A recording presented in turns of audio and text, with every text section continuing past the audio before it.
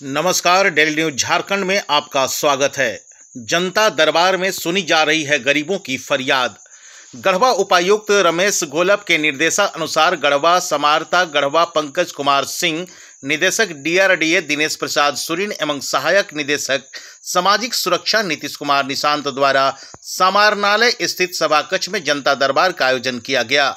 जनता दरबार में प्राप्त आवेदनों व शिकायत पत्रों के त्वरित निष्पादन हेतु संबंधित विभागों को पदाधिकारियों को भेजा गया। सर्वप्रथम सगमा प्रखंड के ग्राम कटहर कला के ग्रामीण जनता ने सामूहिक रूप से एक आवेदन पत्र समर्पित करते हुए राजकीय उत्क्रमित मध्य विद्यालय कटहर कला में बच्चों के बीच प्रतिपूर्ति राशि का वितरण में अनियमितता बरतने की शिकायत की है। आवेदन के माध्यम से बताया गया है कि विद्यालय में बच्चों के बीच वितरण के लिए प्रतिपूर्ति की राशि सरस्वती वाहिनी संचालन समिति राजकीय उत्क्रमित मध्य विद्यालय कटहर कला के खाते में प्राप्त हुआ था। परंतु प्रधानाध्यापक एवं समिति के अध्यक्ष संयोजिका आदि के द्वारा भारी अनियमितता बरतते हुए बच्चों के खाते में निर्धारित राशि के विरुद्ध कम राशि का वितरण किया गया है। उक्त मामले की जाँच करते हुए उचित कार्रवाई करने का अनुरोध किया गया है। इसी प्रखंड के कटहर कला के उत्क्रमित प्राथमिक विद्यालय कदकवा के शिक्षक की शिकायत करते हुए राजेश विश्वकर्मा ने बताया कि शिक्षक द्वारा विद्यालय का संचालन मनमानी ढंग से कराया जाता है, जिसके कारण बच्चों को पठन पाठन कार्य बाधित हो रहा है।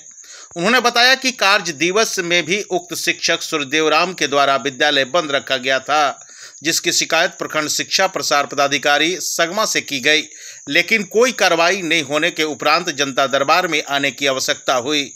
उन्होंने उक्त विद्यालय से पदस्थापित शिक्षक सुखदेव राम को हटाकर किसी अन्य शिक्षकों को पदस्थापित करने का अनुरोध किया है। मिराल प्रखंड के चटनिया निवासी राजेंद्र चौधरी ने आवेदन पत्र समर्पित करते हुए प्रधानमंत्री आवास का लाभ प्रदान करने के संबंध में अनुरोध किया है। उन्होंने बताया कि वे एवं उनकी पत्नी दोनों दिव्यांग एवं निर्धन हैं। एक जर्जर मिट्टी का मकान उनका है। सदर प्रखंड के लगमा एवं अकलवानी निवासी ग्रामीणों ने आवेदन पत्र समर्पित करते हुए एन एच पचहत्तर अंतर्गत बनने वाले फोर लेन में जा रहे उनके ज़मीन की उचित मुआवजा हेतु आवेदन पत्र दिया है। उन्होंने बताया कि भू अर्जन विभाग एवं अंचल कार्यालय द्वारा क्षतिपूर्ति के लिए निर्धारित राशि बाज़ार दर से कम है। मेराल प्रखंड के पिंडरा निवासी संजय कुमार मोची, संदीप राम राजेश राम आदि ने आवेदन पत्र देते हुए अवैध तरीके से खुले डिमांड को जाँच कराकर ज़मीन को अवैध कब्जे से मुक्त कराने के संबंध में आवेदन पत्र समर्पित किया है। उन्होंने बताया कि अंचल कार्यालय की गलती अथवा मिली भगत से ज़मीन का डिमांड अन्य व्यक्तियों तथा सरफुद्दीन अंसारी, मंगवा देवी, रीना कच्छप गीता देवी, करम कुशवाहा, मोहम्मद तुगलक खान आदि के नाम पर डिमांड खोल दिया गया है। उन्होंने उक्त मामले की जाँच कराते हुए ज़मीन को अवैध कब्जा से मुक्त कराने का अनुरोध किया है।